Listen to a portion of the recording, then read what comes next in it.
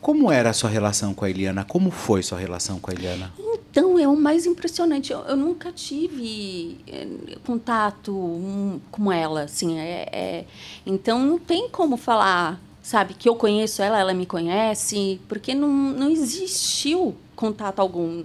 Eu a encontrei algumas vezes em alguns Nem eventos, coleguismo, assim, de falar... É, de cumprimentar, mas é, nunca, nunca, nunca. Eu não posso, então eu não posso tecer nenhum comentário sobre a pessoa, porque eu realmente eu não a conheço. Não, não conheço.